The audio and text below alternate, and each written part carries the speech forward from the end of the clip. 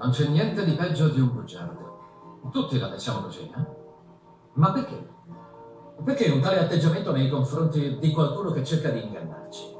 Le bugie ci disgustano. Letteralmente. L'incredulità viene processata dalla corteccia cingolata del sistema limbico e dall'insula anteriore. Le stesse aree del cervello che elaborano sensazioni viscerali come il dolore e il disgusto. E questo spiega perché odiamo i bugiardi, ma anche perché gli esseri umani desiderino con forza credere in qualcosa.